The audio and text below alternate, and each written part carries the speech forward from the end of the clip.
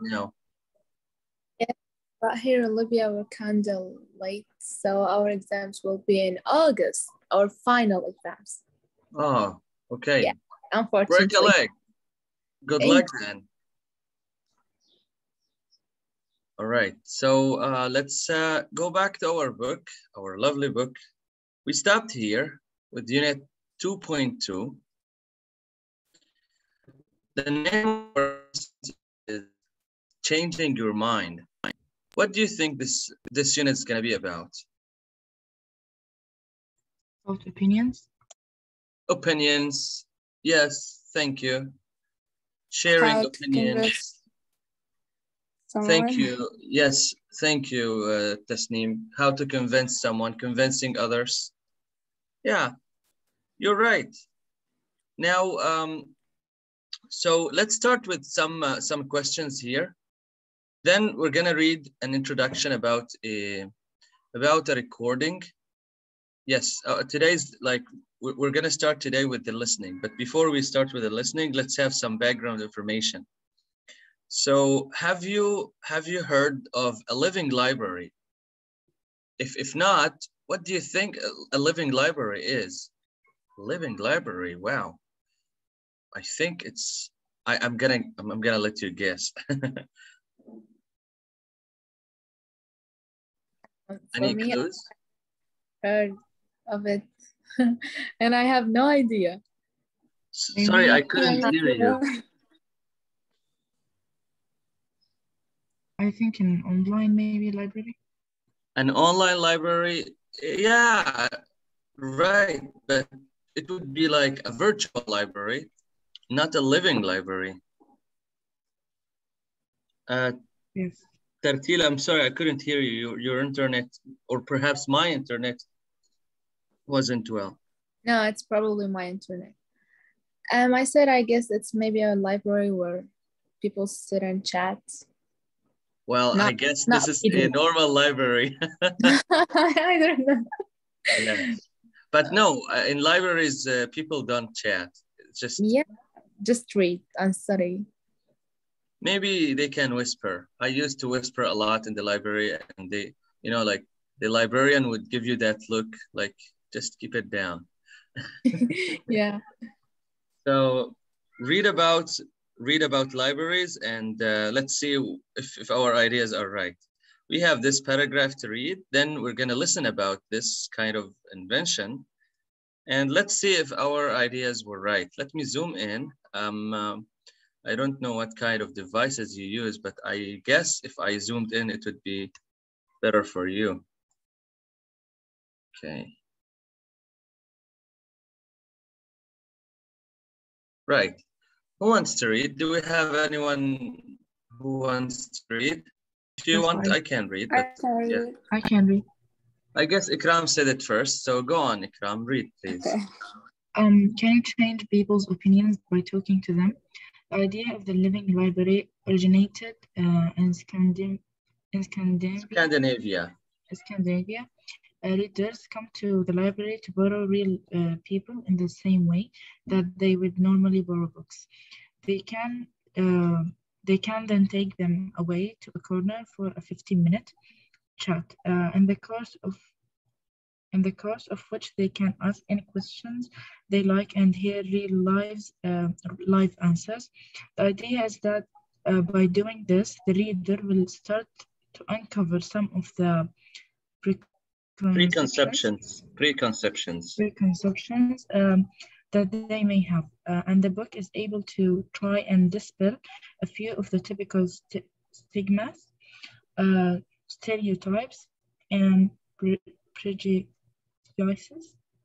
Um, pre, pre, uh, prejudices.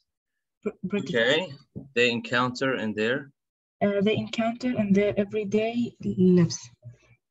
Wow, this is exactly what I needed when I was in college. I mean, in college you have like um, thousands of books, but once you take the book, it's really difficult to find like the exact information you want, or you read something and it's really difficult for you to understand. And this invention is amazing. So Tartilo is right. It's just a library where people just sit down and chat about something, which is not allowed in, in almost all the libraries around the world. And yeah. uh, yeah, it's simple but ingenious in my opinion. If you're asking yourself what is Scandinavia, Scandinavia is a part of the world. It's it's the area where um, three European countries are. I believe Sweden, uh, Norway, and Denmark. This is Scandinavia, and it's famous for uh, what what was their names? Just let me remember. The hike, the hike, not the hiking, the Viking. Yes, the Viking. Sorry. Um, Um, teacher, can I ask you something? yes, please. New vocabulary. Yes. Uh, no, it's an idea. Um, so living libraries, uh, when they chat with the, like with the, another person, uh, they are asking for an exact information or, or just like a daily conversation with a stranger. I, I honestly, according to here, ask any question they like to hear, real life answers. According to the text here, it says real life answers. It's, it doesn't mean that anything. It means that, for example, you read something, I'll tell you what, you read something and you find information there, but it's not very comprehensible by you. You search online and you, you find some information there. But what scholars and students really need is the real life answer. That's the, the, the, the expert in front of you answering you. This is, I guess, from reading this, this is what I managed to understand. But to, re- to understand more, to understand more, and this is the rest of our lesson, we're gonna listen to a radio program dealing about like talk about living libraries. So listen and and answer the questions there. You have three questions to um, put in mind before listening. All right, look at them, read them till I find the recording. It's 2.2. Mm, teacher, can I have a question? Yes, please. If you want to ask about the vocabulary before we read, I can answer you. Yes. What what does stereotypes mean or tips? Stereotype is um, it's a state where people just judge others by previous ideas. You see? Yes. Yeah, and it's bad. I mean, usually it comes in a in a very terrible way. Okay. Uh, and what does uh, preconceptions mean? Preconceptions. Um, okay, conception is is wh- when you have a concept, it means like you have an understanding. You're gonna understand this word more while you listen. It's there in your um, in the vocabulary in the vocabulary section. Okay. And So I guess you would ask about stigmas. Stigmas. This is a very good word. Stigma. Stigma Yeah. is a very terrible thing. Um, how to explain it to you? Similar to right. So, like it, it feels it feels of disapproval that that people have about a particular illness or kind of behavior. This is the meaning of stigma. Stigma yeah. Right. Typical stigma stereotypes. Um, when people have stigmas, they are this like they are not welcome in a specific community. So it's something bad. It's something bad. Like let's read here in context and see. And about the book is about any try, any disposal, and a few typical stigmas. I guess here it has another meaning, which is yes. But when you when you when you say stigma, uh, for example, refugees are stigmatized by by the locals. You say like locals don't really don't really see refugees as as good fit in their communities. This is how they typically use uh, stigma. Uh, yes, here, let me see. Here they're telling you, we will start to uncover some of the preconceptions that they may have. And the book is able to try and disable a few of the, yes, here I told you like a pre, like, like a, a previous judging of something, you see? similar to stereotype. Did you understand, Ikram? Um, yes, somehow, yes. Sorry? I said, yeah, somehow I did understand. Right. Now, while we listen, you'll understand more. Let's listen to 2.2. Let's listen to this program talking about the Scandinavian living libraries. It's 2.2.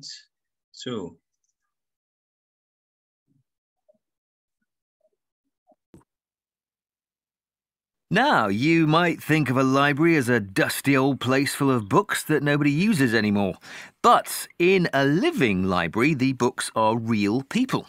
People who can share a significant personal experience or a particular perspective on life. Today, we've got uh, two people here to tell us about their living book experiences.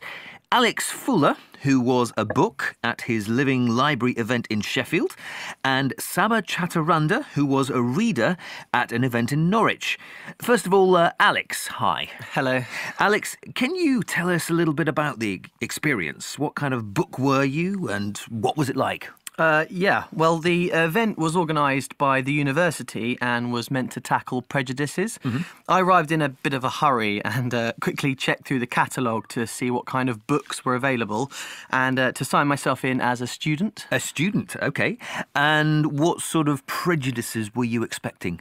yeah, well, uh, I wasn't sure what to expect really, but uh, when you read the catalogue, against each book, there are a few of the typical prejudices and preconceptions that people might associate with your title.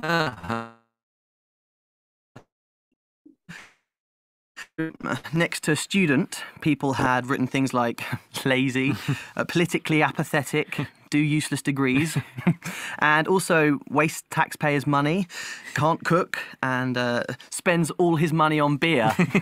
well, thinking back to the previous night, I wasn't sure how I was going to tackle any of those accusations. I see. So, what did you do? Um, well, first we just had to go and sit in the waiting room, and I was beginning to have second thoughts, to be honest. I was quite uneasy about it all, but anyway, then the public started coming in. It was like sitting on a shelf, waiting and hoping that someone would choose you, and hoping that you would be able to find something to say when they did. Uh, right, and presumably someone did choose you. Oh, yeah. Uh, an older man with grey hair and a suit uh, came to collect me. Oh.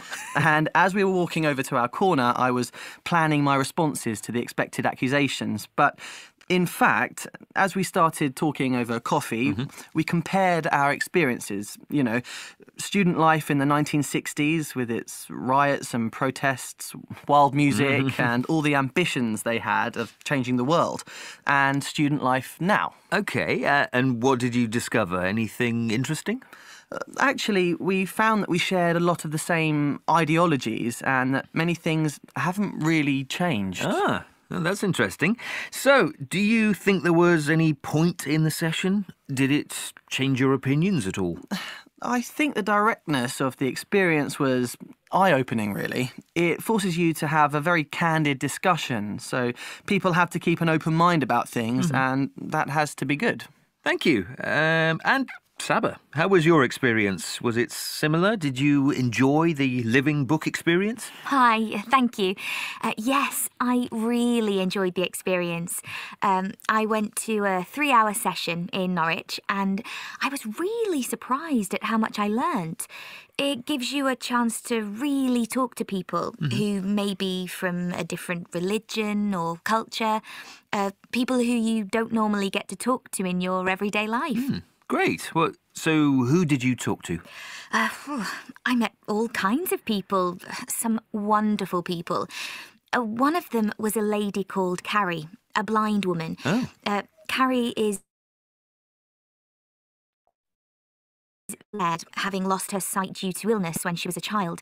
The first thing that struck me about Carrie is that she's fiercely independent. She doesn't like other people doing things for her, so you can imagine that can be a bit difficult. Absolutely. Uh, so, what did you learn from Carrie? Okay, uh, her mission was to tackle the stigma that people attach to blind people, that they're helpless. So she wants to challenge the stereotype that just because a person can't see, they can't do anything for themselves. And how does she do that? Well, uh, Carrie lives a perfectly normal life. Uh, she goes to work, goes out socially, and does all the things that the rest of us do. Well, she can't drive, but that was really one of her few limitations. She told me about other successful blind people around the world who have had a great impact on society. Mm. Uh, people who've been successfully employed or taken degrees, published books, uh, even participated in Olympic events. Mm. These are the people that have been Carrie's inspiration. Yeah, that's wonderful. T tell me, did you ask Carrie about her other senses? You, you know, uh, people often say that people who are blind use their other senses because these are quite well developed. That's right. Carrie feels that she's quite a good judge of character because she's able to see people for who they really are on the inside, mm. rather than just how they want to present themselves, or how you may judge them because of the clothes they're wearing. As she put it, she's able to see with her heart rather than her eyes. Okay, how interesting. So, uh, did the conversation change your views on disability? yes, it did, definitely. My conversation with Carrie gave me a whole new perspective. It taught me not to be narrow minded about disability, and I thank her for that. Wow, that's, that was really great. I've never heard of such a library before. It sounds like a private tutoring more than a library. All right, interesting. So, um, did you change your opinion about this kind of libraries? Yes, I guess were you, it seems uh, really interesting. Sorry, were you able to listen to the entire recording? Yes. Yeah, Yes. Yeah, great. Okay, um, sorry, go on. Uh, I just said uh, yes. Uh, they seems uh, it's really interesting experience, and I want to try this. Yes, definitely. Maybe when you travel to Scandinavia. Um, I guess I, am not sure, but um, as far as I remember, Finland would consider. I, I I'm not sure if it is in Scandinavia, but Finland as well is it's very famous for um, its higher education. I mean, people there are really are really good at you know uh, teaching others. So, would you ever take part of this experience, like go to have a chat with an expert about kind of book you read? Yes. No. No, why not? For me, okay, continue, Crown. Yeah, it's okay, but I feel no because I like to uh, like learn the information by myself. Like I want to search about it because I think like I can remember it more than when someone teaches me. She has a point. Okay. Um, I'm sorry, you were breaking. I just heard that you just want to uh, learn the information on your own. What were you saying after that? Yeah, I said because when I learn it like by myself, uh, instead of someone who was teaching me it, uh, in the future, like I will remember it more because like I don't know, I think that. You're right, Ikram. You're very right. When you learn something on your own, yes, it takes more. But believe me, I remember when I was like eh, in college, I had like tons of books to read. Like I, I passed 50 subjects in, in college and for every subject you have two or three books. So that makes like more than a hundred books in like in four years. So typically, typically we would do the following. We were just reading the summaries for, for like so many of those books. So if you had someone to, to really guide you you had the time to sit with him and discuss the book, I believe it would be way better than just reading the summary. This is my own perspective about this. And I believe Tartil was sharing something, and then it was like she was interrupted. Go on, Tartil. Uh, we're listening. Um, I said yes because uh, when I, for me, I mean, when I explain something to my friends, it like it gets stuck with me, and I go well with it. you know. Yeah, cooperation, cooperation. Um, this is one of the best thing in education cooperation teamwork people just in in the west they really know how to deal with each other like regarding uh, you know the, the learning process and i believe this this gives the, like this gives them huge advantage in learning yeah, Yeah. but on the other hand maybe some others would like just to have um, their own space regarding studying which is understandable as well. Not not everybody learns the same. So let's answer some questions related to what we listened to. They say uh, what was written in the catalog next to student? What was it? Do you remember? Were you able to get the answer? It's okay if you didn't it was a very long recording. No, actually, the recording like lagged two times because of that. it's okay. We can we can go to the next one. All right the next question says um, how did alex feel about this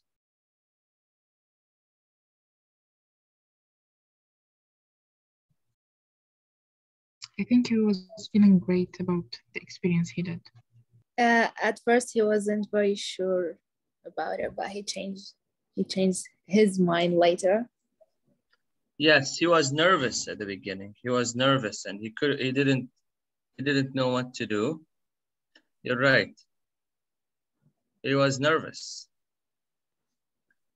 um, let's see the next one uh, so what actually happened i believe he dealt with it okay I, i'm gonna let you say it what what happened with him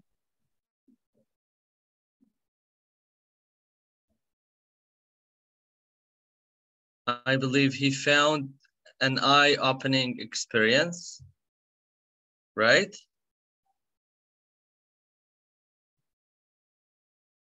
What did you say, teacher? I said he found an eye-opening experience. Oh, yes. Yes, and he said uh, they have uh, they have found a lot of uh, share, يعني, a lot of uh, uh, things in Things. common. They share so, so many things. Yes, exactly.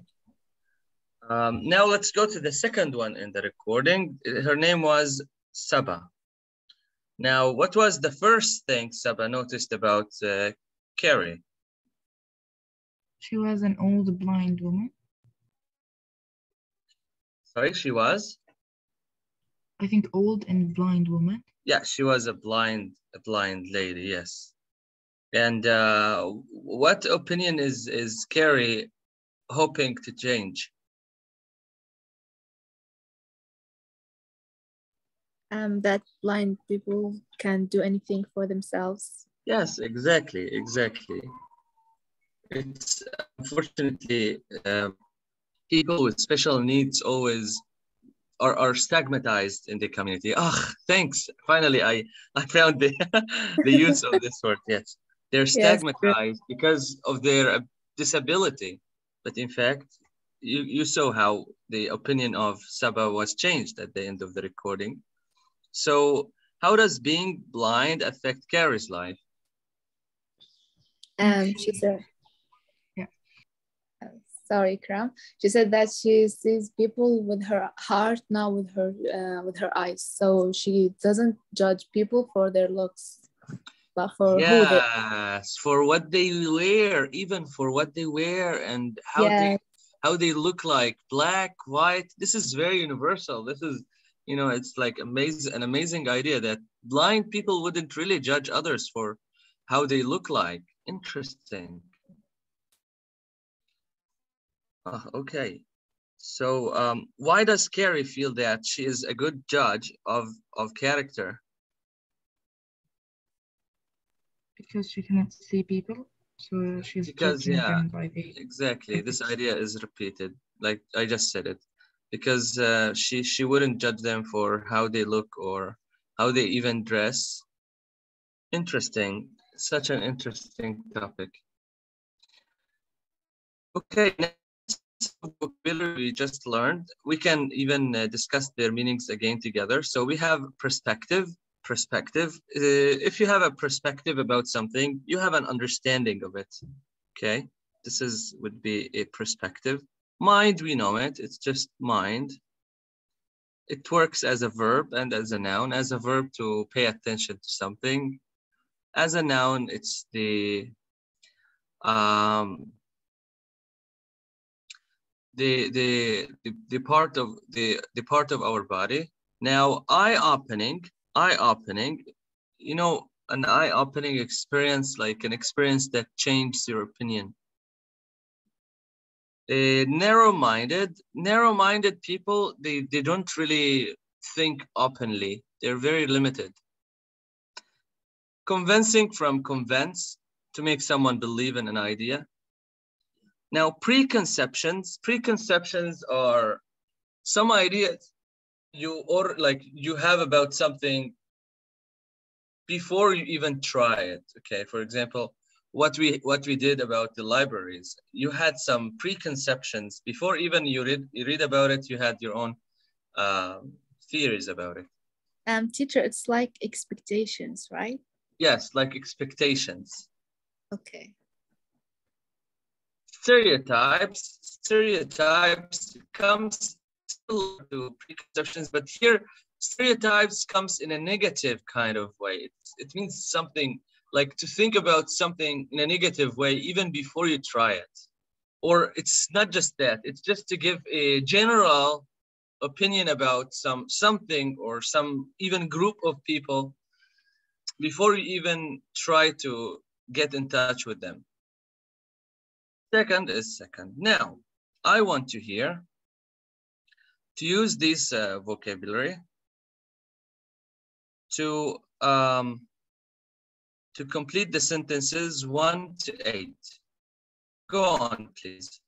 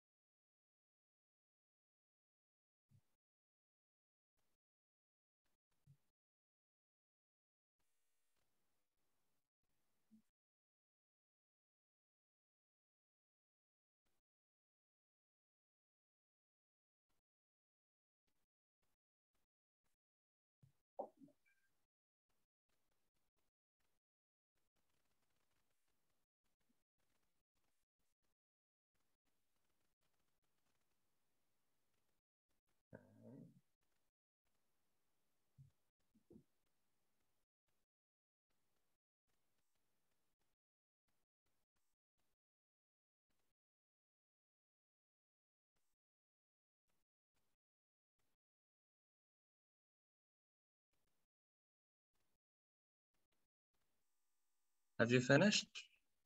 You want to, can we do it together? Okay, take your time.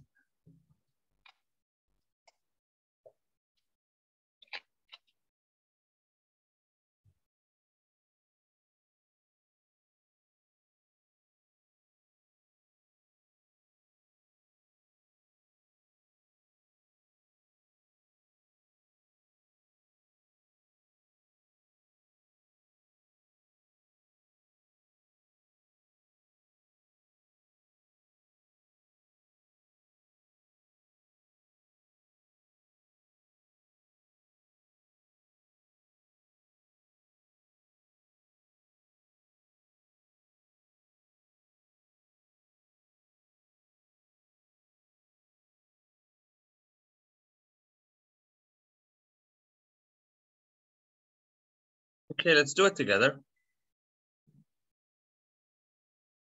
Okay. Um, I, I can do the first one for you. And people tend to have various preconceptions about what a drug addict is. Okay, of course they do. TV. Can I have the question?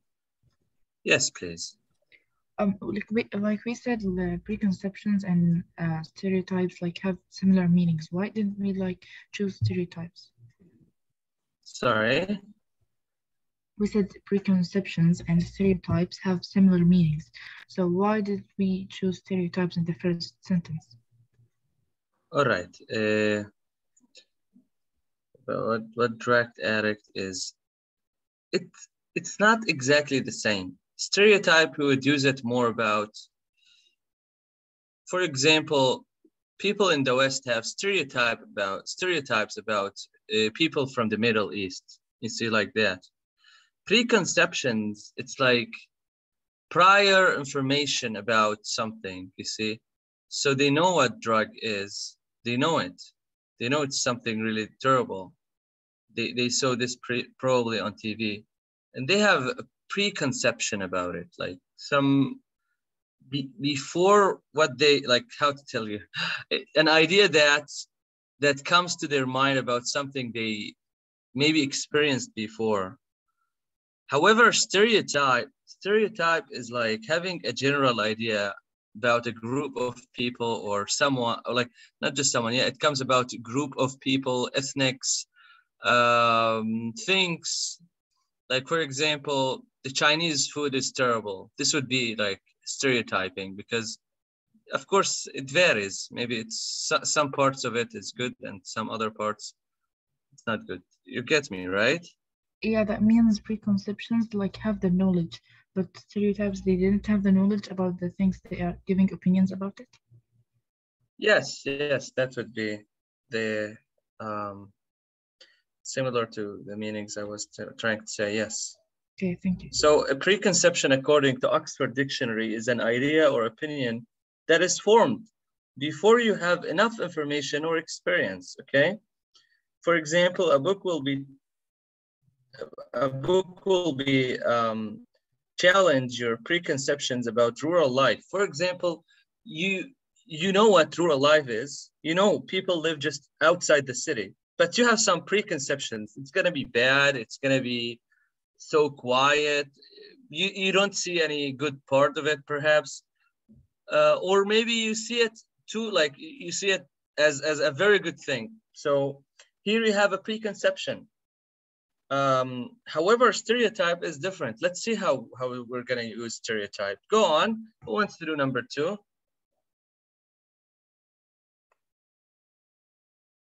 Um, i will try. Okay go on Tartil Okay, the aim is to challenge the narrow-minded that uh, exists about Im um, immigrant immigrants. The aim is to challenge the stereotypes, the stereotypes here oh.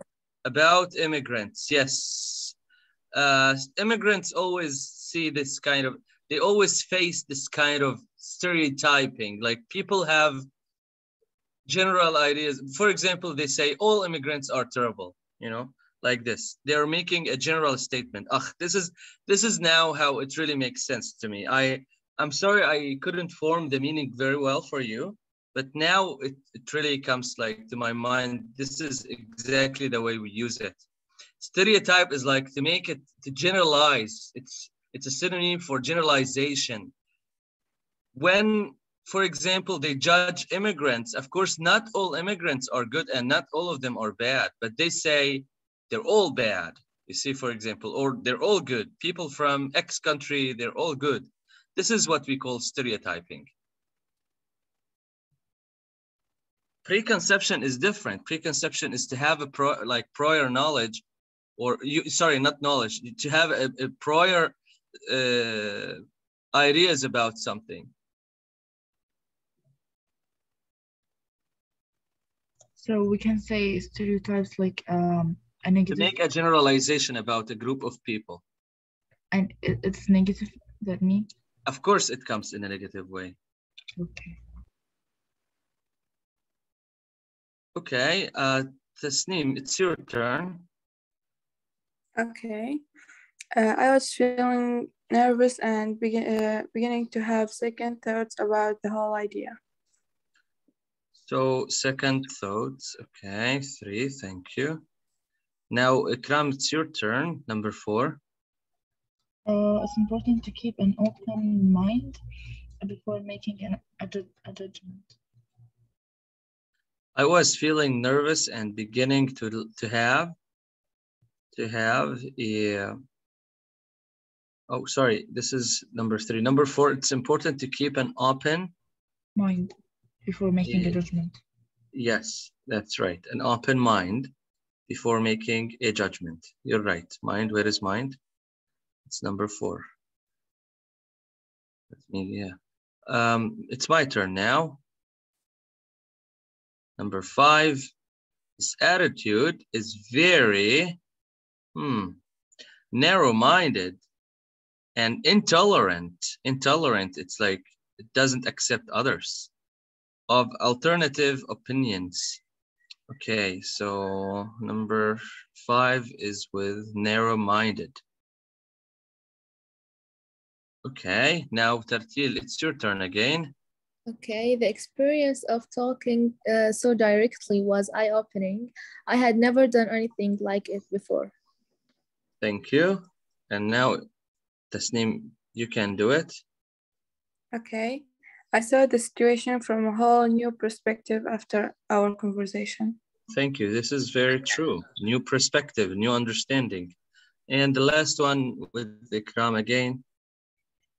Uh, I don't think he really knew his facts, so his argument wasn't very uh, convincing. Convincing, yes, to convince someone with something. Here are the new vocabulary. I hope you enjoy them. And uh, yes, try to use them while you're using your language. So, did you take the answers? Can I clean them? Just a second. Yes. Yes. Take your time, no problem. Here it goes.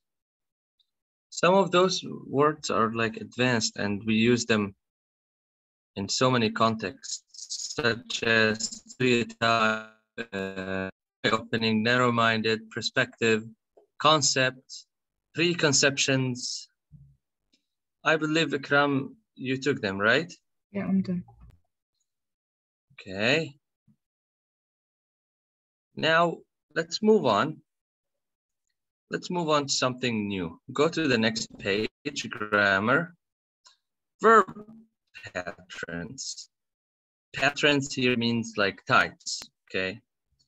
So I want you to check what you know, go there to the sentences one to six, and underline the correct alternatives to complete what uh, other people have said, what other people have said about living libraries.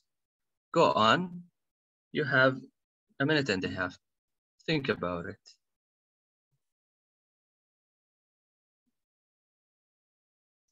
Okay, it's for A.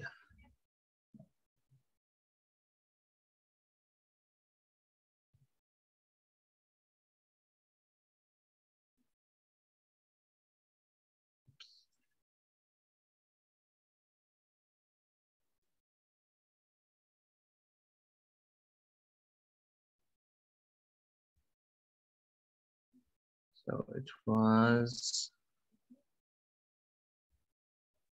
Let's do it together. Let's do it together, guys. Let's do it together. Okay. So it was a great Okay. being able to say those things you're usually scared to say, say, or saying. saying. Say. Say, not to say. Just say, I think. I would say to say. Let's see the next one. To say, okay, con- continue with the sentence you would understand. And ask questions you're usually afraid to ask. Okay.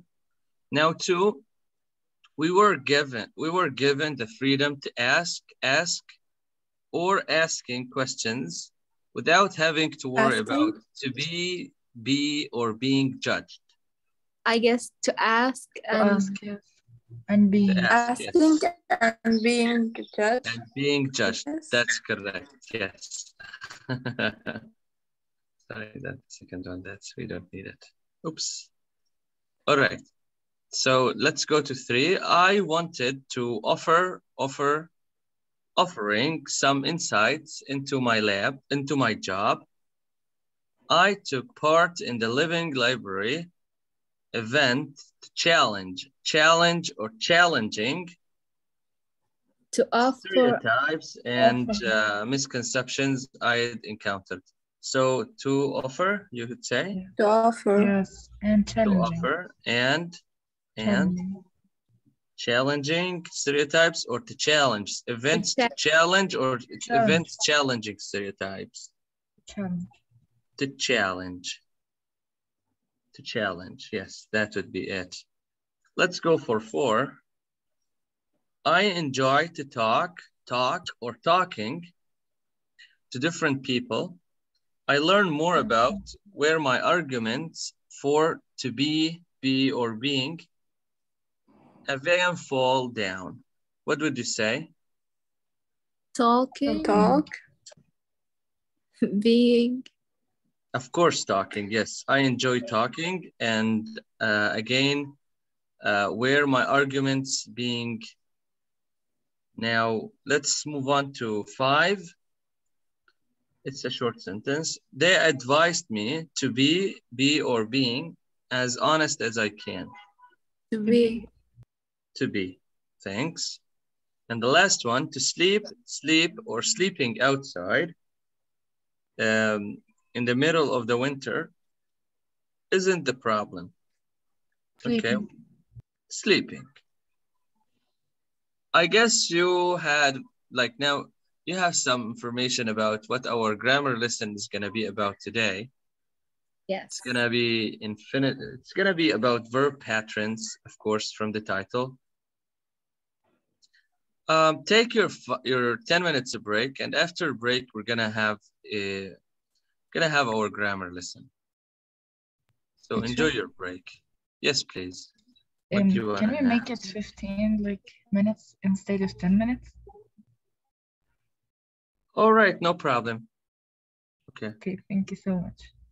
All right. See you in fifteen. Hi, teacher. Hello, teacher. Yes. Okay, let's continue. So before the break, we were discussing some verb patterns, such as to say, say, or saying. So in your opinion, what is the main what is difference between these three forms, to say, or say, or saying? Uh, I think it depends on the verb that before them. Okay, we will we will see. We will see what's the difference between them. I want you to go to that box. If you can, if you can find it. Did you find it? Yes. Yes. Yes. Great. So um, can you can read the notes and uh, and and look here what what do we need here? Like for example, pa passive infinitive or ing form with what? Here you have one, two, or three. Try to match them. Okay, so you have, they seem to have forgotten why uh, we came here. Which one would it be with A, B, or C? They seem have forgotten. So they seem have forgotten, to have forgotten. Which one do you think this is? First, let's look what do we have in the box. Sorry? I think the second, uh, the second one B, perfect infinitive or ing form. perfect infinitive or ing form. Okay, and we have negative uh, infinitive. We, this is not. And ing form. And the first one we have passive infinitive or ing form. Now, this is so related to the naming of some grammar. I know you understand the, the um, you understand how to use them in some, like at some point, but perhaps you don't know the, the name of the grammar here, which is good, which is not bad. It's okay. So um, my suggestion would be like we go to page 130. We understand what is passive inf infinitive and what is perfect infinitive and what is negative infinitive, then we come back here and we can choose them like, you know, perfectly. So let's go to page 130. Oh, the laptop is on. Right. And go, let's go to 2.2. You can see it, verb patterns. Can you see it now? Yes. Great. So the first thing we have here is verb plus ing. So they're telling you here, many verbs can be followed by a verb in the ing form. Some of these verbs are related to the meaning, uh, like, for example, like, dislike, adore, love, detest, etc. Um, some can also be followed by an infinitive, but the meaning may change. Let's see here, for example, we regret to inform you. You see here to inform. We regret telling you. So here there is a slight difference in meaning. They're telling you the first one, the first one, it says, we are sorry before we speak. However, the second one, we, re we regret telling you, we are sorry after we speak, you see? So um, this is what we call infinitive, two plus verb one, and this is verb in the ing. Perhaps you're thinking, what is an infinitive? An infinitive is verb one, and before it, two, we call it two infinitive. So here you can see how the difference in like how, how um, sometimes changing the structure here can can create a like a small difference in meaning. Are followed by yes. So sometimes we have prepositions are followed by an ing as well. For example like are you still interested in buying? Okay this is because you we, we had a phrasal verb before the um the, the gerund the verb in in the ing so we had like this, we are interested in buying the, prop the property. You understand, you know this, you know how to use this. They're just trying to make kind of revision for you before going to the infinitive with to and pa passive infinitive and perfect and negative. Um, infinitive to, can you see this? It's something very huge in the English. It's just something that researchers research for like they they they've been researching for decades. And uh, you can even find books about about just two infinitive. So don't feel depressed if you couldn't use it properly all the times. Let's see here they're telling us we have now another case in the ing ing forms when they uh, now. This is what we call gerunds. Gerunds are like, um, gerunds are nouns that are made from verbs. Yes, crazy. Look at this example here. Smoking is bad for you. So here smoking, it came as a verb, like not as a verb, as a gerund. Here it's a subject, smoking. How did they create this gerund? Just by adding ing. This is how you add like this is how you create gerunds. Smoking, sleeping is bad. Uh, swimming is the best when I'm uh, when I'm excited, for example. You can see how how they can just put ing and they can change the verb into an active noun. Here, smoking. Yes, it's a noun. It's a gerund. In fact, this is what what is the um, like. This is the grammatical term for it.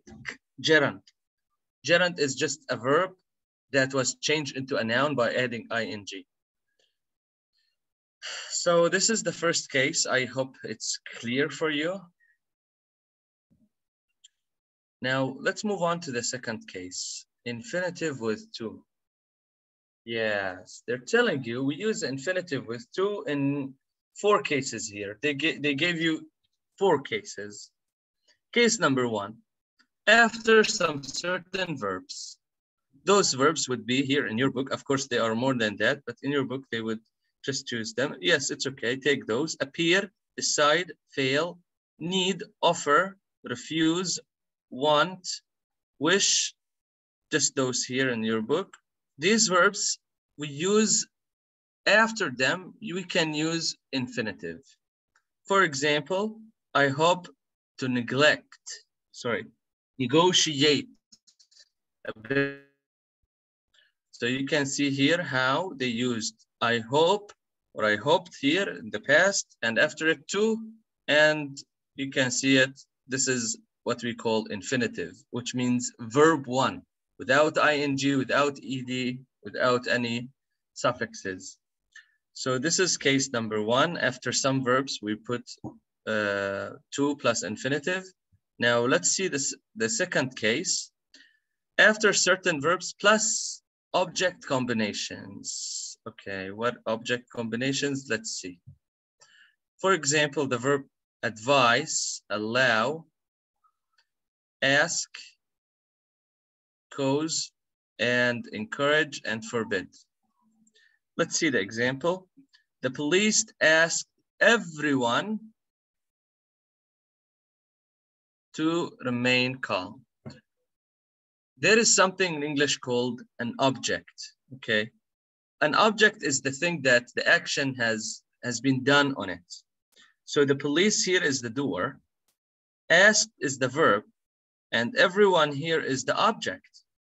So they're telling you if those verbs, one, two, three, four, etc. One, two, three, four, five, six verbs.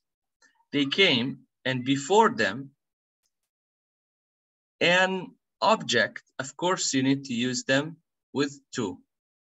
The police asked everybody or everyone to remain uh, calm. Of course, you used the structure before, but you didn't know what, what grammar rule you used. Now you learned it. Um, teacher, what does forbid means? Forbid, it means to stop someone from doing something.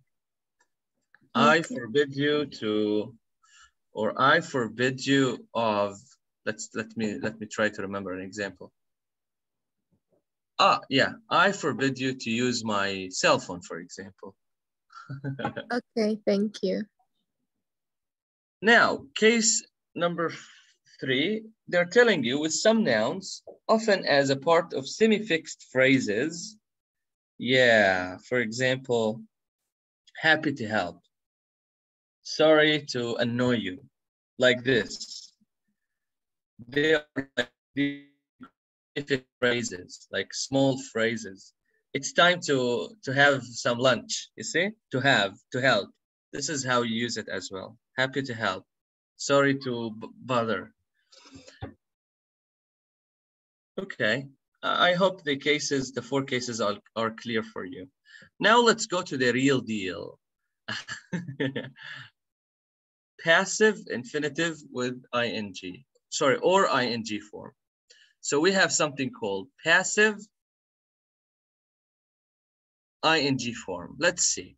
This, like we use passive ing form. This is the, the, the like being done to describe actions which are done to the subject. I hate being told what to do. This is exactly, it's, it's similar to, it's not similar, it is passive, it is passive voice. I, I, have, I have been told, okay? I hate being told. Someone told me and I don't care who, why, but I, I hate that action. So this is how you can use it. You we use it why to describe to describe actions which are done to the subject, maybe you, maybe others. He hates, he hates um, being sent, being sent to to the shopping mall, for example. For example, you're talking about your brother. He hates being sent to the shopping mall. So this is uh, this is how we use what we call passive infinitive. It's passive because you don't know who did who, who did the action here, but of course you're describing the action which which is um, done on the on the subject. Use the passive infinitive to be done after some verbs, especially uh, reporting verbs. Yes. Do you know reporting speech? He was considered to be. He was told to say. This is um, this is wait to be done. Yes. He was considered. Yes, exactly. He was considered. He was considered. Again, the same the same issue. Uh, describe an action that is done on the subject he was considered to be the right person for the job.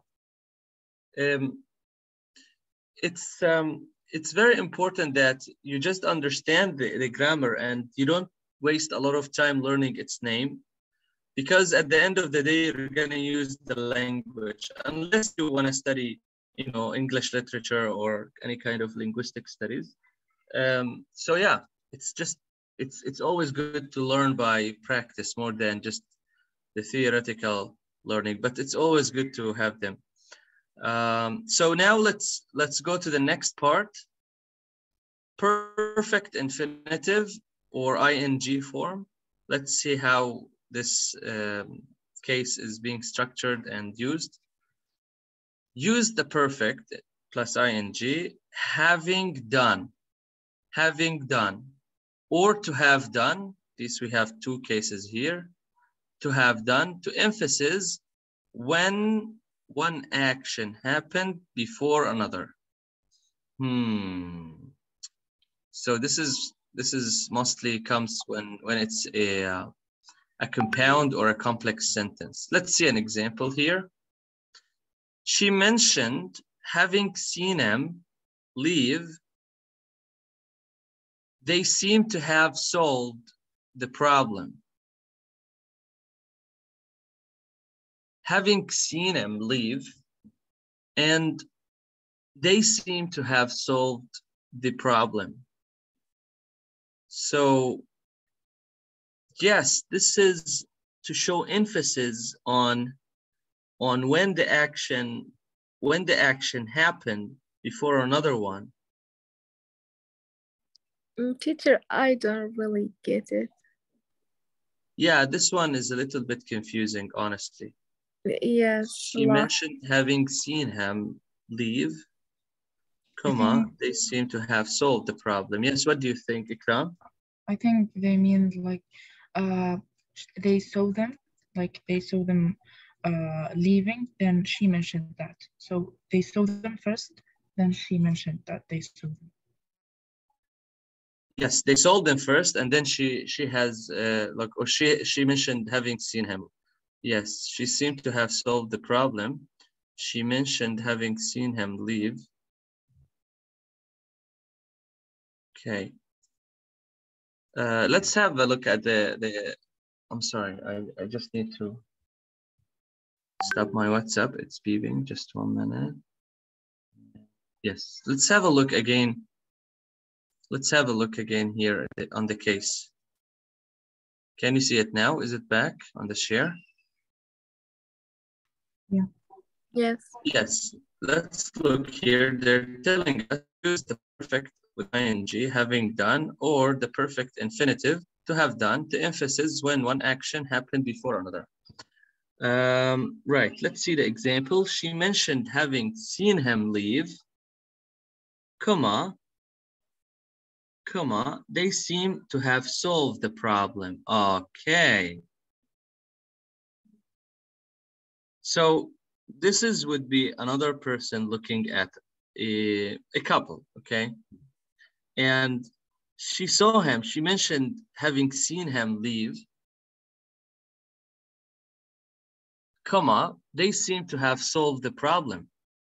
So she saw him first to get an to get an idea about an action that happened before to have solved is ha happened before, happened first, right?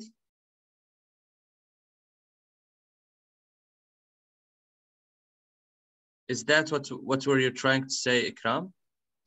No, I think like they are two different sentences, isn't they?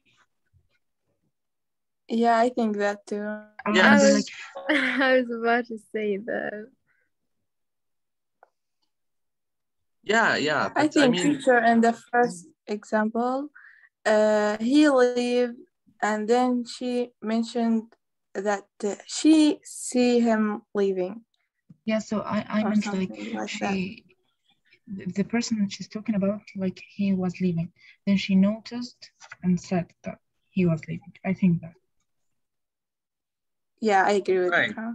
it can it can be possible that way. It's just um, the punctuation isn't really clear. I I I uh, it it looks like a full stop or but at some point it looks like a comma as well.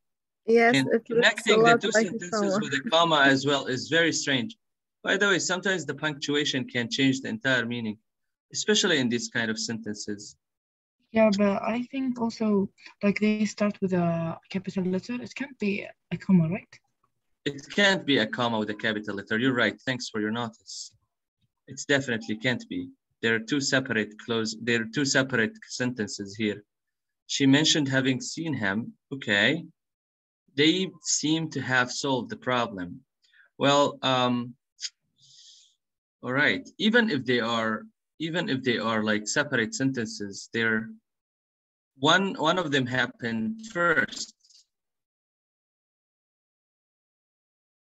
it, it doesn't matter that they're the same sentence. They're just the meaning of the phrase have seen, the, the meaning of the verb, like like the verb phrase here could intend another meaning.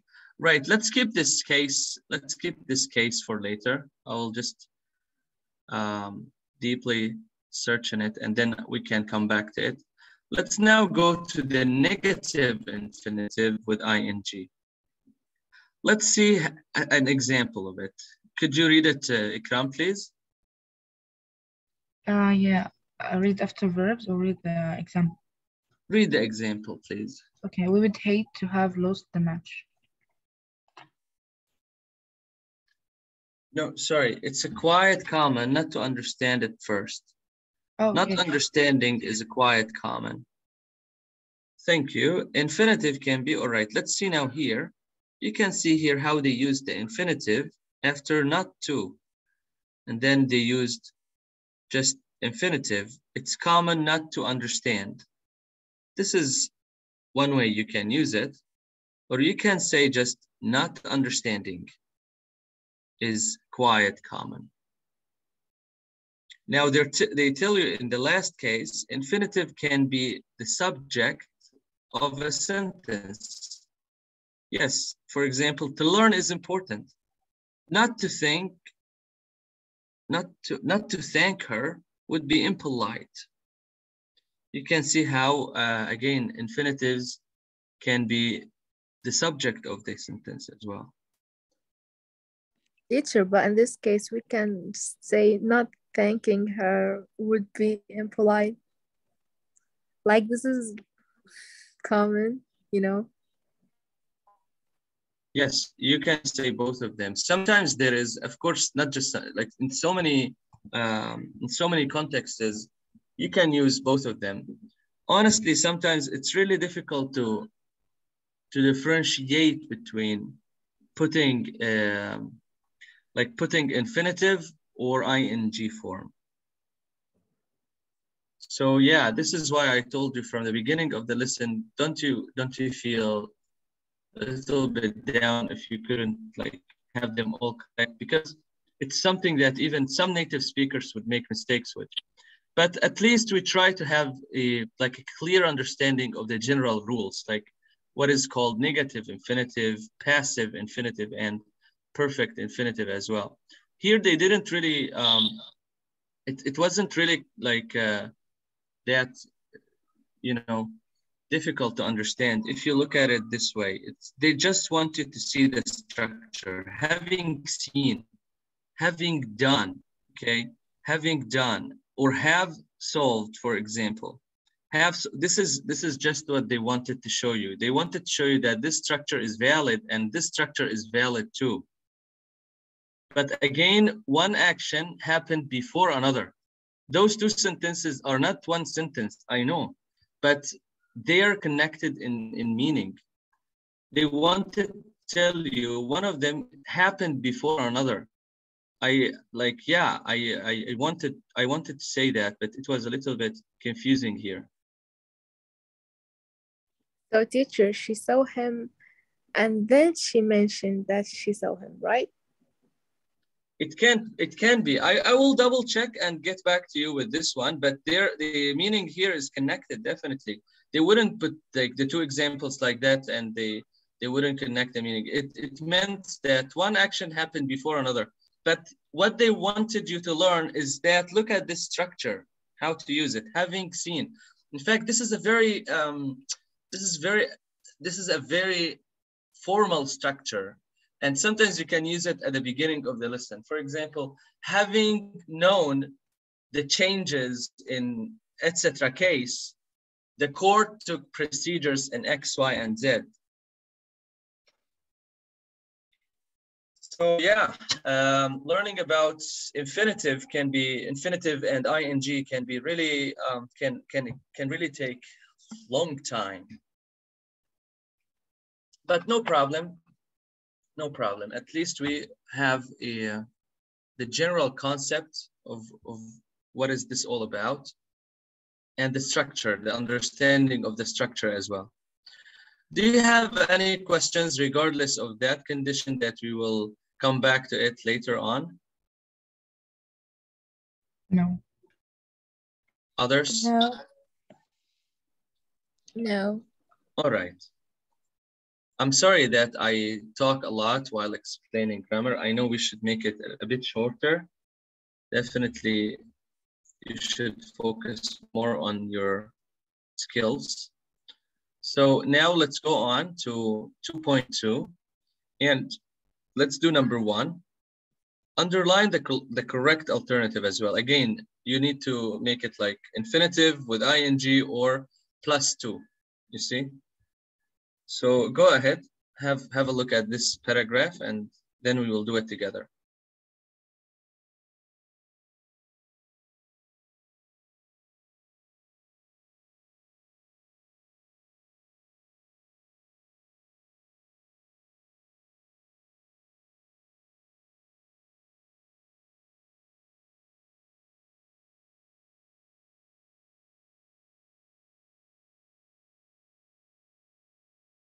Okay. All know, we all know.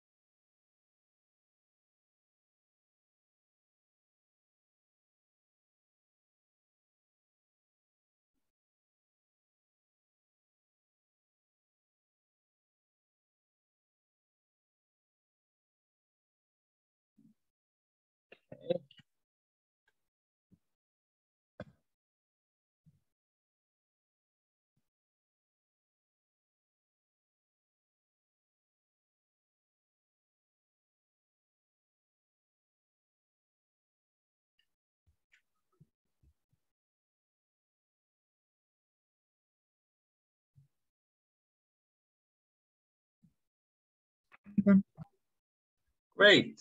What about you others? Uh, give me one second.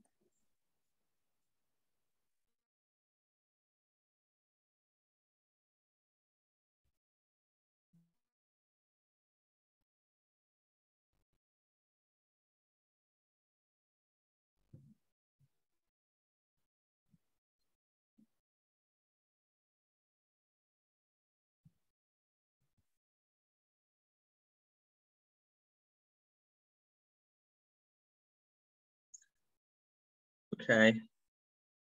Um, let's do it together. So you can help me with finding the answer. I will read and you tell me wh which is the correct alternative. Now we all know how important make, making, or to make a good uh, a good first impression. To make? Make. Make Again, making making a good impression. It sounded more natural to me. Yes, making a good impression. We say. We've heard we've heard this statistics when uh, when you meet someone for the first time, only seven percent of their impression is based on what you say, thirty-eight percent on how you say it, and a massive fifty-five percent of your uh, uh, sorry, yes, appearance and manner. So it's vital not to underestimate, underestimating, or to underestimate. Underestimate. Uh, and sorry, did you, it's vital not not under, underestimate or not to underestimate.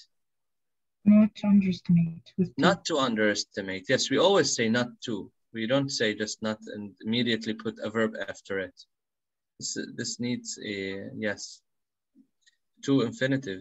Now, um, the importance of choosing your clothes carefully when you go to that key meeting or job interview. This is your opportunity. Impress, impressing to impress. Impress. To impress? Well, yes, of course, to impress. On walking, sorry, on walk or on walking or on to walk into the room. walking. Okay. Of course, Walking. walking. You know, it, it's, I, I really, like, it really went out naturally. After you practice, you don't really come back to the grammar units. You just have your own um, linguistic instinct. So most people are, are likely to have form or to have forming. Of course, here form is a, a verb. Or to have formed, To To have have- form. Have formed. to have formed an opinion of your character. You see here, something happened another, uh, before another one. An opinion about your uh, character based on your appearance in less than three seconds. It is difficult, say, saying, or to say. To say To say. Say. First, to say why people ins- uh, insist on judging or to judge, judging. Judging. Judging. judging by appearance, even when we know that it is so unreliable do doing to do this. To do this.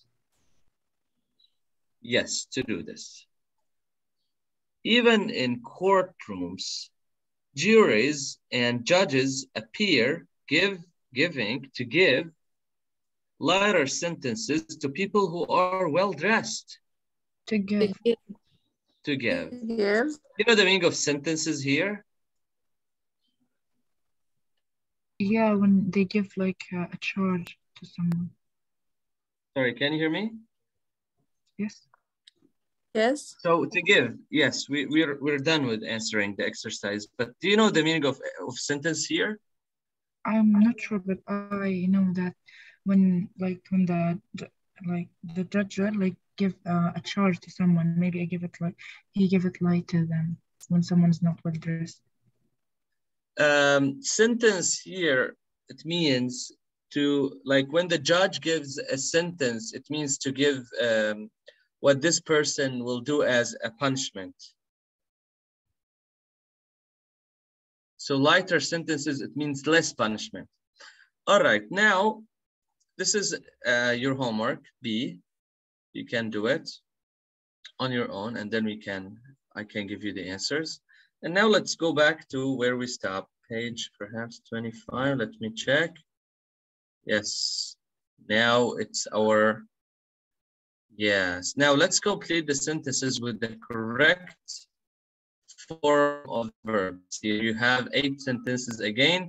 This is a good practice. After that, you can have some speaking. So go on, you have eight sentences to work on. Um, I will do number one for you. I will do, yes, sorry, what did you say? Um, didn't we, like, we're going to do C? Sorry? Uh, weren't we going uh, to do C and the question B? We said we will come to it back. C. Yes, sorry, this one. Yes, sorry, my bad. Let's uh, let's do it together. You're right. Um, who wants to read? Who wants to read the rules? And then we can match them together. One, two, and three. I can do. Go on, please.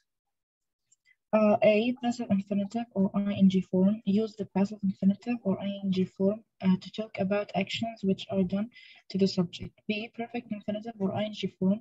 Use the, uh, use the perfect infinitive or ing form to emphasize uh, when one action happens before another. C, negative infinitive or ing form. Negative infinitives or ing forms uh, can often be made the subject of a sentence like. Yes, this is interesting. So the first one, would it be A? They seem to have forgotten why they come, why they came, uh, why they came here, or two, to understand, not understanding people's reasons, etc. Or three is always being stopped by police just for the way he looks like. He looks like it's, it's missing. Three. Three. Uh, definitely three. Definitely. Number one is with three. This is what we call a passive uh, infinitive uh, being stopped. We discussed this. Now, the second one, perfect infinitive or ing form, would it one to have forgotten or yes, two? One. It's one, yes. We just studied this. To have forgotten, it's what we call perfect infinitive. And now we have C, um, negative infinitive or ing, of course, it's not understanding people's reasons, etc. And here is, here are your answers.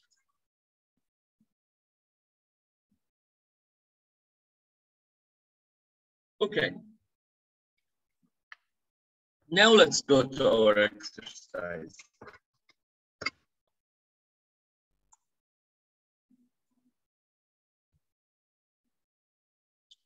All right, you have here now eight sentences to work on. I will do number one for you. Where is my, yes. I didn't expect to feel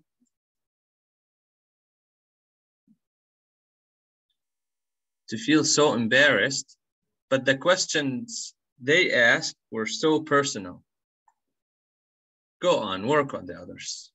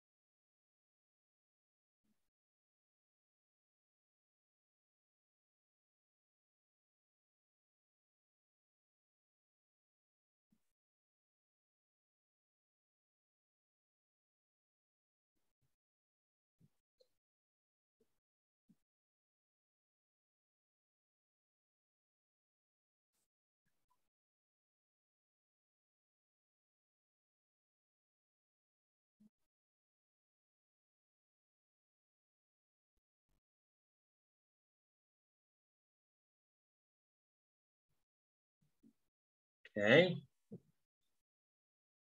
Uh, have you finished? Yes.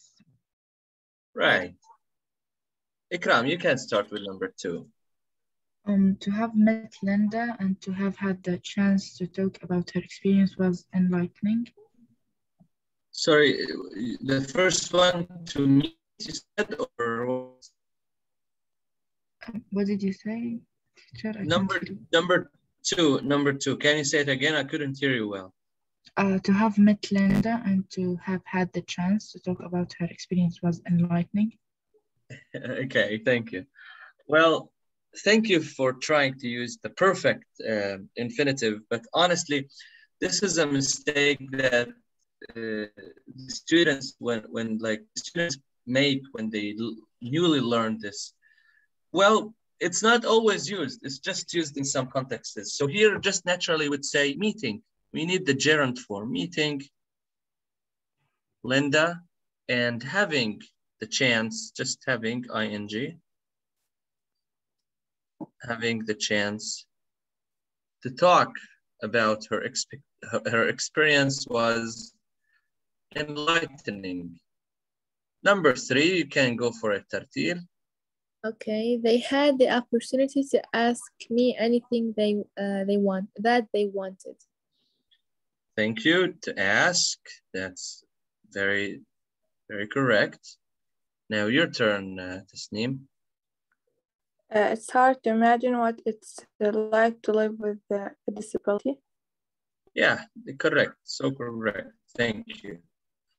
I I wouldn't even cont sorry contemplate leaving the country. ing. Now, Ikram, you can do the next one. Uh, she had revu- refused to marry the man her parents had chosen for her.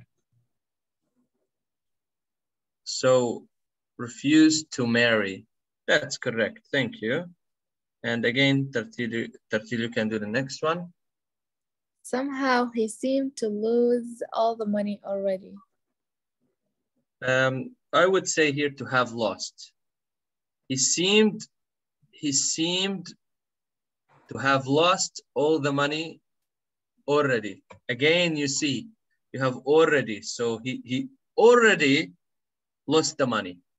That means an action that happened before another action. This is what they're working infinitive. Some Um, somehow he seemed he he seemed to have Okay, lost the money. something? Yes, yes, please say it. Um, without already, uh, we can see seem to lose because I read this a lot, like seem to care, seem to blah blah blah, imperative Yes, form. yes, but um, let's let's imagine that we don't have already. Somehow he seemed to lose all the money, but here it seems like there is there is something missing. The context isn't there. In different context, it would work. Yes, you could say to lose, of course, but Okay. the context would be different. Okay. Okay, okay, thank you. You're welcome. Right, now the last one with Tasneem. Uh, he is fed up with being called rude names. All right. Uh, being called. Yes, being called. This is definitely a school student.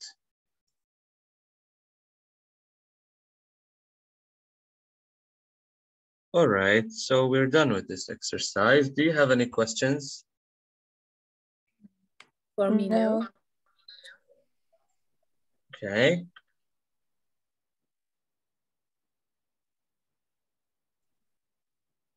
Now, let's have this speaking card.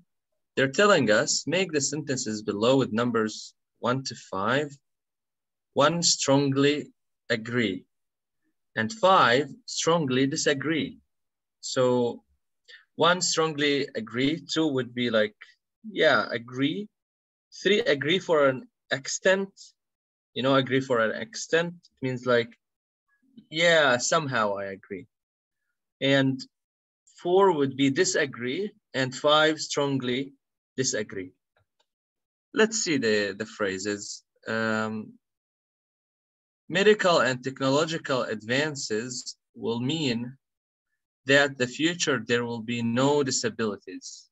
I I just disagree, but I definitely not strongly disagree because in my opinion, the technology will reduce the disabilities. Um, I don't really think that I get the idea here.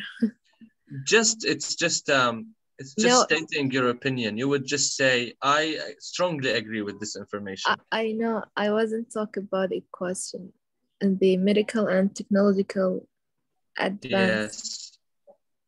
Um, this statement means that the advances in technology and medicine will lead to no disabilities. Like the future, the, in the future, there will be no disabilities. Do you know disabilities? Like, Oh yeah, yeah, yeah.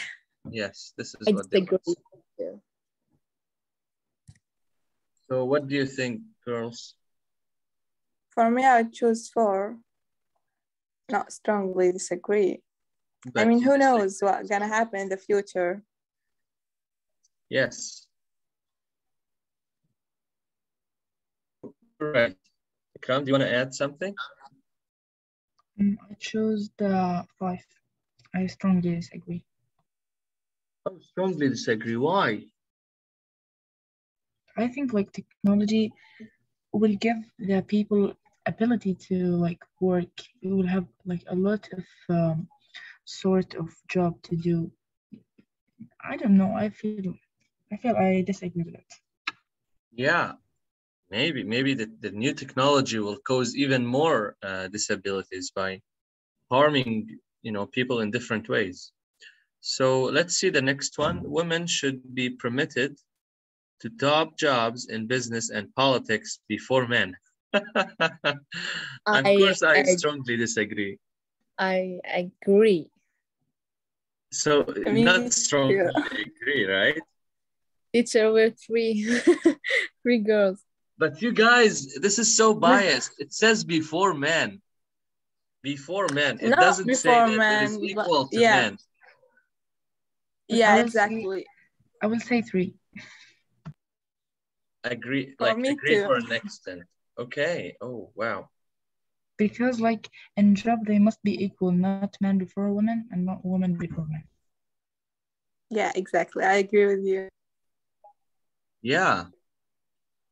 Um, let's now look at the third one. Everybody in the world should have access to a library. Strongly agree. Yes, this is the one that we strongly agree to. Yeah. For me, I Strongly. choose one too. All right, let's see the next one. Students, not the state, should pay university tuition fees. What does tuition mean? Okay, so this is, yeah, this is a, a very good one for you. Uh, tuition, it means like the, the tuition fees are the money that related to your study. So in some countries, the state pays the money for your study. Like, uh, for example, in uh, Turkey, even in Syria, um, and in many other countries, they the government gives the money to the university so you study. You see? Yeah. However, Oh, here this statement says the students themselves should pay. No, I no, uh, I strongly disagree. disagree. this makes no sense. I agree. I agree. Me too. I chose to Agree for an extent. Agree for an extent. Like teacher. Because oh, sorry. I'll tell you. Go on, go on. Tell me what is what, what, what is Like, your if- perspective on that? If you want to pay, you can just join like private college. Yes. You will get better education. But some people that they don't even have the money to pay, but still want to learn. You know. Yes, yes, you're right. You're right.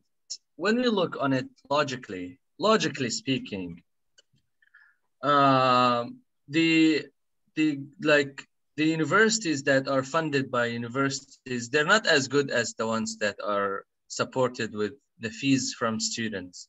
And you can look, for example, in the UK. In the UK, the the the, like the education ranking is super, more than super high. It's like a hotspot for students to come and study from all over the world. However, like here, like in many other countries, it's not that, it's not that, you know, well developed system. So this is why I would say students should pay because eventually when students pay, it's going to be better. Um, But at the I same time, from a humanitarian point of like of view, yes, the state should pay. so it's something that is really, you know, um, hard to discuss. Ikram, sorry to interrupt you. No, I'm sorry to interrupt you. I think you have finished. Okay. Um, I think like uh, I agree with them because like the students, uh, sorry, the state, it's not the not the state uh, responsible like or responsibility sorry to pay for the students they like can study in a nation national like uh, or a local university they don't have to pay Yeah, again, you have a point of view. Right. So individual countries don't have the right to interfere with the affairs of ano- another countries or another country. Yes, this is very good. I totally agree with that, strongly agree. So it says that some countries shouldn't interfere. Interfere, it means to get involved on the affairs, like the things that are happening in another country. Yes, countries should respect the the other country's affairs and they shouldn't interfere with it or with them, in my opinion. Did you understand the statement? No. uh, what does affair mean affair Um, look, look, guys. For example, affairs here, it means like problems in the country. So some countries, some uh, like huge powers, unfortunately, interfere with the problems of some other countries, and that even cause bigger problems in those countries. So here they, they say to you, these countries, like individual countries, do not have the right they shouldn't have the right to interfere. Interfere, it means like to get involved of someone else's work, not your issue to deal with, with the affairs of another country. So, did you understand it now? I'm sorry. yeah but i Kind disagree actually Yes, I agree. Definitely, countries should shouldn't interfere with the affairs of uh, other countries. I disagree because, like, you know, like in Europe, uh, Greece, I think, yeah, like some years before, they said that, that they all broke out, then they have to get help from another country. So they have to interfere in, in Greece to help them to get up again. Yes, but the Greece is the one who asked for help. They they didn't interfere without the permission of Greece. This is what they say. Individual countries shouldn't interfere with the affairs of another country. This is the meaning of interfere. Oh, so, Anyway, oh, okay, politics politics is sometimes difficult to comprehend. Now, um, I believe this would be it for today. I believe this would be it. Um, next lesson, we can go to uh, 2.3. I hope you enjoyed today. If you have any questions, if you have any inquiries, please feel free to share me. Thank you so much. You're most welcome. Um, one more thing, one more thing. When is our makeup lesson? Do you have a particular day you would be more comfortable with next week? Um, I Maybe don't. Wednesday. Sorry? Uh, I said maybe Wednesday. Maybe Wednesday. Okay, let's not make it sure. I will write you. And uh, if you're okay with it, you can r- confirm to me. If you have some other commitments, we can even have it later. Okay. Now, Okay. see you next week then, and uh, enjoy the rest of your day. You too. Thank you, Thank you. teacher. You too. Bye, guys. Bye-bye.